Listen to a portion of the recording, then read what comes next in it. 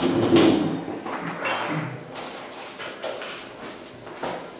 so the fourth one we're going to at now is a closed company surcharge. Okay, so our fourth consequence is a closed company surcharge. And what this is, if you want to write it in alongside your, your box there, is to avoid directors keeping the funds in a company. Okay, so to, uh, to avoid directors keeping the funds in a company and not distributing them. We're on page um, 9, page 8, bottom of page 8. Okay, so avoid directors keeping the funds in a company and not distributing them.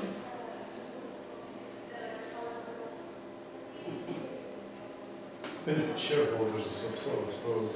Yeah, it's like, you know, the, it's like your case 3, 4, 5 and your schedule F. And if you if you've a lot of rental properties, you're keeping all that money inside there and not distributing it. You See, then if, once it's distributed, the directors have to pay tax on it at 41%, but then from the company, do you know what I mean, they avoid paying that tax. This is to avoid them paying, do you know I mean, for, avoid them keeping that money inside in their Directors, yeah. Forcing the tax out of them one It's the other. forcing the tax out of it, yeah, yeah, yeah. So there's eight steps to actually calculate it, and you just have to know these eight steps. Okay, so step one, you calculate the total income including the current year, uh, including the current year losses and charges, and section 23, 23 relief. You don't have to worry about section 23 relief and actually cross that out there. Okay, so you calculate the total income including current year losses and charges, but you exclude losses carried forward and back and chargeable gains. Okay, so you're actually looking at your trading income, want make it simpler, your trading income less your current year losses and charges. That's basically what you're doing.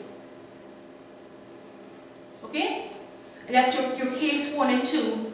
Less your capital allowances, less any current year losses and any current year charges. Then you calculate your estate and investment income, which is 3, 4 and 5. Okay, schedule 3, 4 and 5.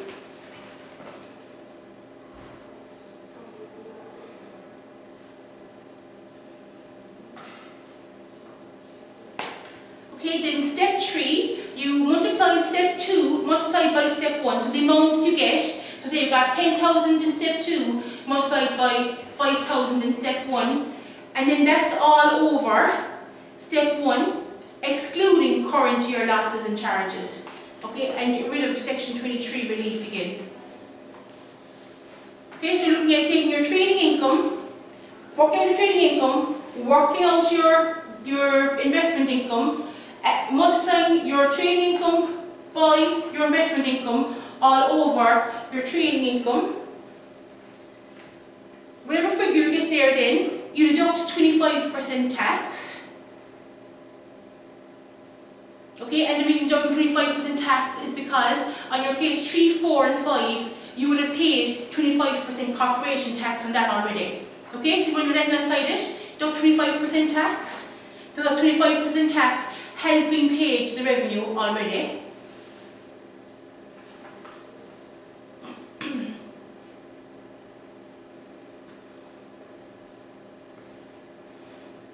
Then you add your franked investment income, which is your, your Schedule F, okay, because your franked investment income is not taxable inside the company.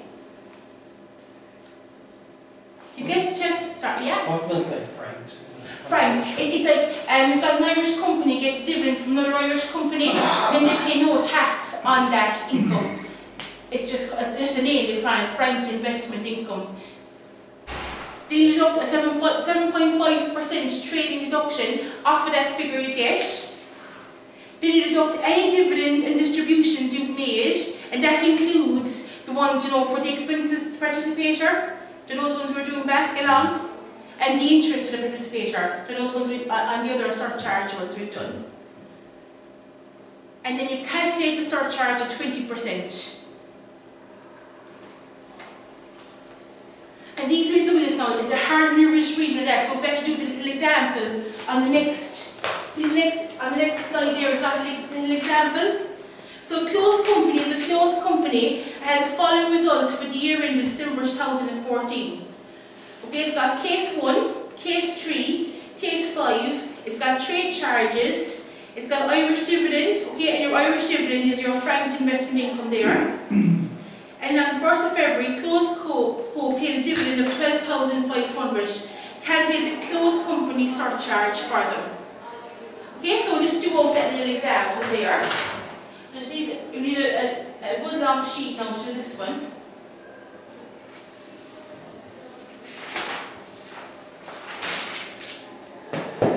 Okay, and it's called Close Co. Close company surcharge.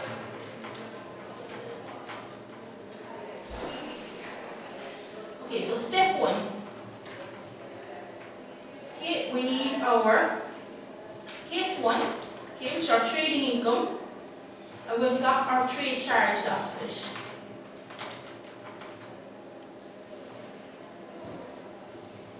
Okay, so case one in this question is 80,000. And we've got trade charges of 10,000, which brings us down to 70,000.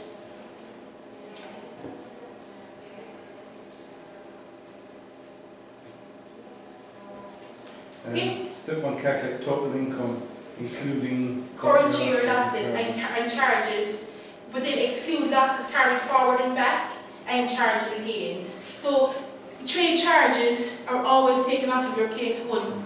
Okay, like if you cap, if they give you capital allowances, you take capital allowances off of your case one to give you your taxable case one here then.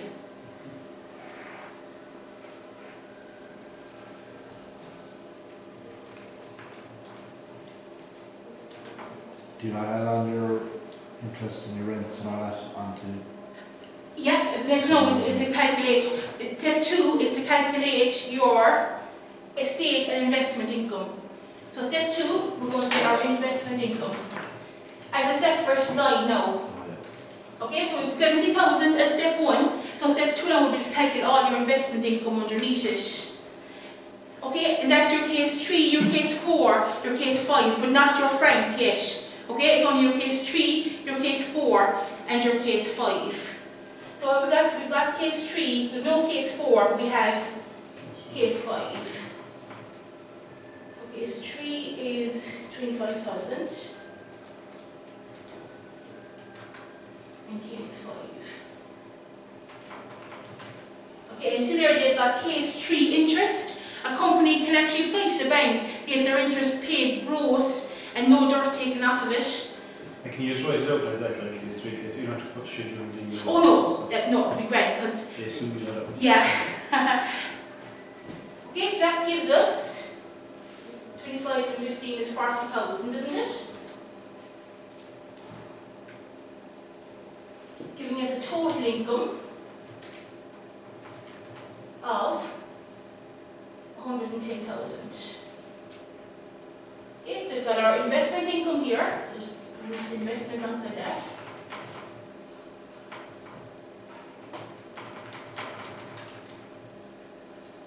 And up are, our, income. Just so when you're looking back, you know, it gives a total income of 110,000.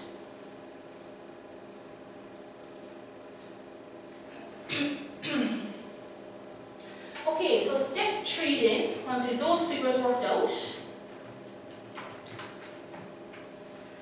Okay, we're going to take our step two multiplied by step one, and then step one including our, our step one excluding our current year losses and charges. So we're actually taking in this one would be your forty thousand. Okay, multiplied by okay, and it's actually your total income you're actually taking here, your hundred thousand. Sorry, hundred and ten thousand. Should that be, s- why is it forty, it's not seven? Yeah, it should, it says, see, step one there is actually, what, I see, if you want to change step one there and put in, instead of step one, put in total income, it makes more sense. Calculate total income. Yeah. Ignore the rest of it. Yeah.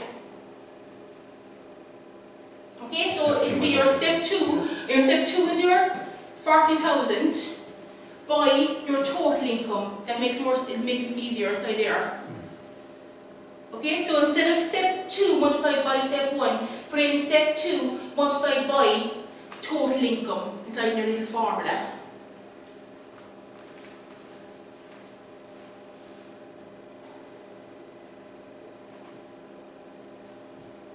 Okay, and that's all over, okay, your step one, which is your total, just change that to total income now again.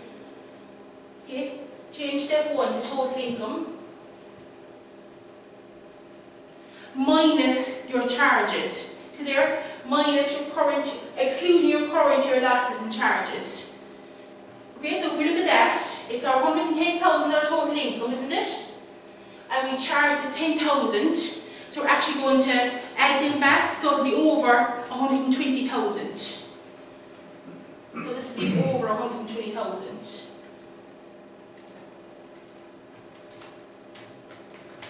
Okay, so we're taking our, worked out what our trading income was, worked out what our investment income was to give us our total income. So now we're taking our investment income multiplied by our total income all over our total income and we're adding back our 10,000 euro worth of charges. Okay, and if you just work that out, 40,000 multiplied by 110. It's pretty badly expanded that there, so it's like step one. That- two, It suggests that should be minus ten thousand, does it not? Yeah, you're excluding it, but you're adding, do you mean, So it's an add back. it's adding back on the, You're ignoring it, so you put it back in. you're putting it back in, yeah, Mm. yeah. It is, do you know what I mean? We, I know, but they can make these things easier, easy, it's The way it's written is actually more. Uh, putting it off. It's more sense, makes more sense out of it. yeah. And especially if you change the notes, instead of going step one, change it to total income, at least you know your total income is your trade income plus your investment income to give you your full total income. So that gives you um, 36,667. Okay, so you multiply your 40 by your 110 and divide it by your 120, which gives us 36,667.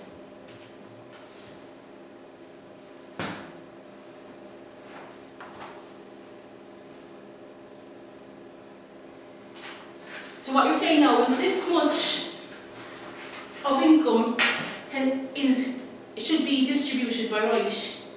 Okay, we're looking at this. But we're going to take more stuff off it now as well. Okay, we're going to deduct the 25% tax that was paid. Okay, so see step four, deduct 25% tax.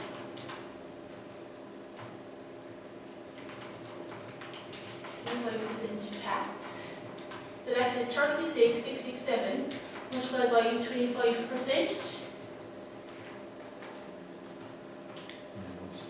is 9167. That's coming off of the 36,000.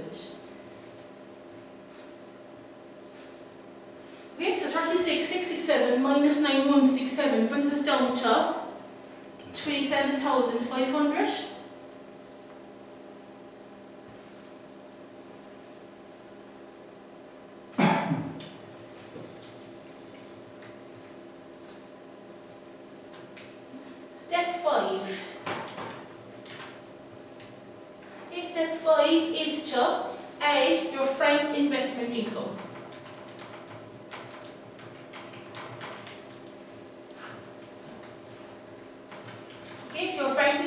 Income is income you received from another Irish company.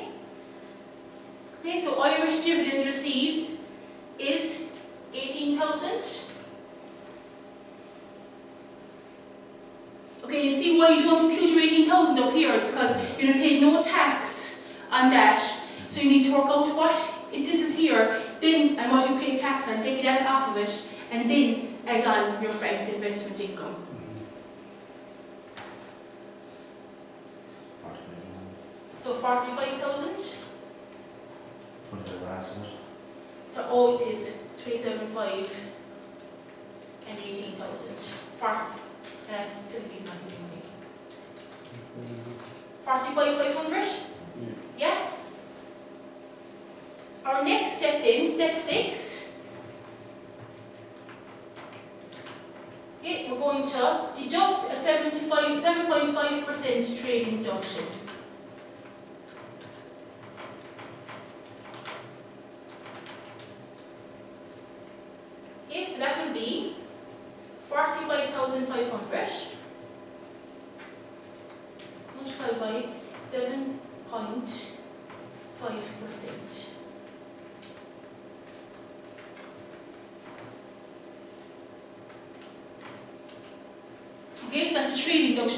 a trading company.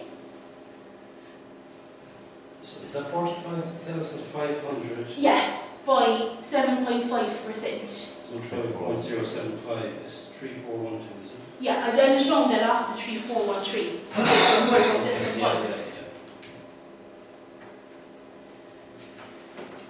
Okay, so then take your forty-five thousand five hundred minus your three four one three, 2087.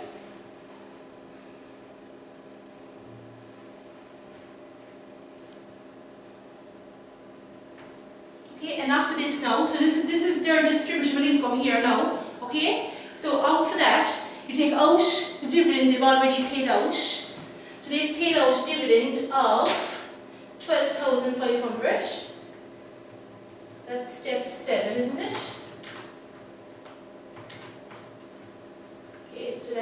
is deduct DUD.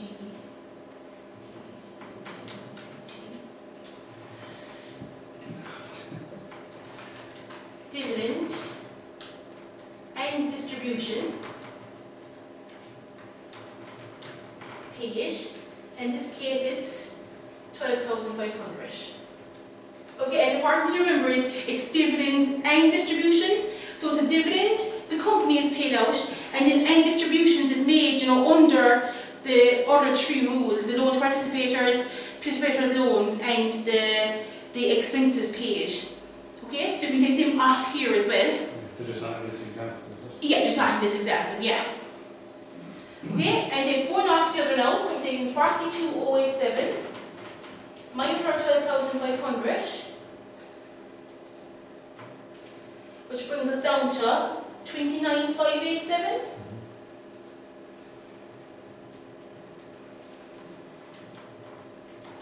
And step eight then is our surcharge at twenty percent. So it's twenty-nine, five eight seven by twenty percent.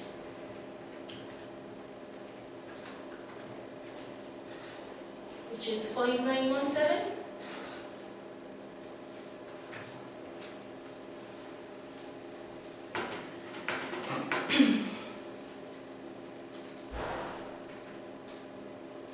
Okay, so if they don't distribute their income, okay, any more than this twelve thousand five hundred, they don't distribute the rest of it, they have to pay this much of a surcharge over to the revenue. That's payable if they, If they, if they don't, like say, they've given dividend of twelve thousand five hundred to their dividend, to their shareholders, so they've given another twenty-nine thousand five hundred and eighty-seven to their shareholders to avoid the surcharge of five nine one seven. But it suits them kind of to do that if they were trying to save the money to buy something. new. Yeah, and, and they're leaving that much money inside the company. Yeah, that's what you have to look at.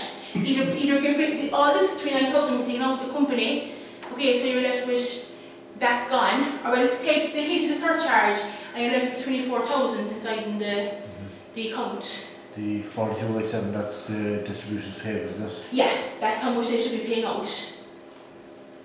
So if they don't pay forty-two, is it? Yeah, but see, they've er paid twelve. Okay, see, they've er paid twelve, Yeah.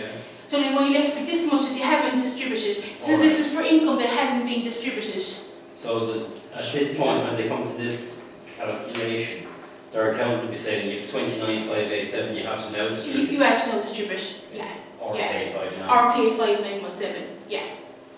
And how you, and it's like how you avoid that then, you must pay the dividend out within eighteen months, okay, so you must distribute this within eighteen months of the year end. So if the year end is, what was our year end. December fourteen, you must distribute it within eighteen months. Or you pay the five eight. Or you pay the five Within nine. eighteen months equal. Yeah, yeah, Right, okay.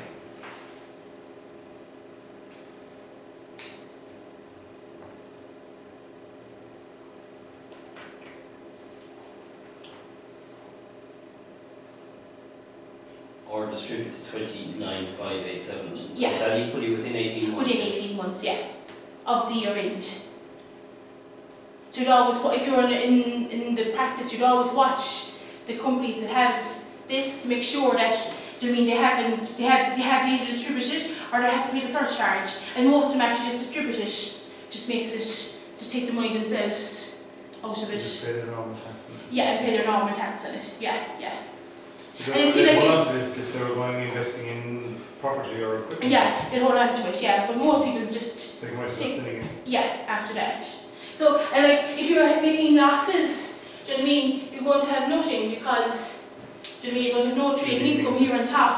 Yeah. So you actually will have nothing to invest if you're making losses. It's only if you're making profits that actually come into to just- play. So in practice, this would be a case for an awful lot of clients. Oh yeah, it would be, especially, but like a lot of clients might not have high case three and case four and case five. But they still have, they'd be closed companies. There's those companies, but it, it's, it's your investment income you have to distribute. Yeah. not your trading income, it's the investment side you have to distribute.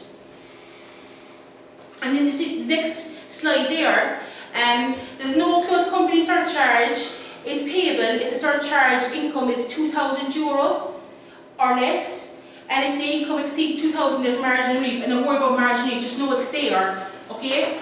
So if, if, the, if you came down to the bottom and your surcharge was like, if your surcharge was 1500 euro, there's no surcharge in because it's under 2000 euro. Or if the, if the surcharge calculated is less than two grand, Yeah, like we have five nine one seven there, Yeah. was two grand or less. and there's margin relief then if it's, but don't worry about calculating margin relief, just don't, that doesn't come up, no. So if you go over to the next page, there's only one more rule now, okay, that will be all our rules done. It's if you've got a service company. Okay, so a service company surcharge. So, um, it's professional, okay, if I'm going over, this is for a professional services company. So if you want to write that over the top of your slide, two, sorry, Schedule D case two. case two, yeah, Schedule D, case two.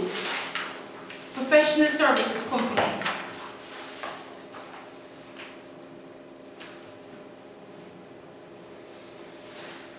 Okay, so we're down to uh, this one, service company surcharge.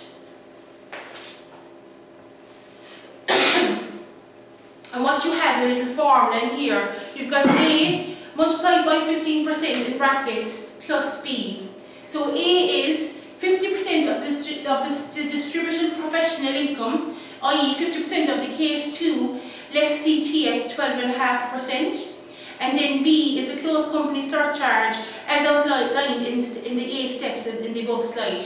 So if you've got a professional services company, you do this closed company surcharge like we just did, and you have this extra 50% of the distributed professional income, so 50% of your case 2 less corporation tax you've paid in it by 15%. And then you add your close company surcharge onto it as well. Okay, so there's two surcharges inside there. Okay, there's a little example inside here. So X Limited had the following results for the year ended uh, December 14. We've got case 2 of 80,000, case 3 of 25,000, and case 5 of 40,000. Dividends of 10,000 were paid on the 1st of May 2014. Okay, so we do all the full surcharge, this is the practice for actually doing it, and then do the service company surcharge as well. Alright? Okay, so go over to my. Is there a reason why that's only for the case two? Um, it, I see it's because a lot of doctors and stuff are incorporating now, and it's to get more money, really. so there's a lot, and pharmacists are, before they were staying as sole traders, but now they're actually incorporating, and they're hitting down a lot on the doctors and the pharmacists and stuff. Because remember mm-hmm. they went out after the pharmacists and doctors for the employer's PRSI? So when there's a doctor and a pharmacist, and they had a locum in, a locum pharmacist or a locum doctor, then they were treating them as a self-employed person when they came to work for them, when they should have been treating them as an employee. So they went after them after for the employer's PRSI to be paid back to them. Yeah, also the doctors and chemists kind of went that way to try and get around the other Around, costs and stuff yeah, that Yeah, they were chasing for before. yeah, So they brought this in and to try and counteract it again yeah. Okay, so let's go for our, a new one again. Just go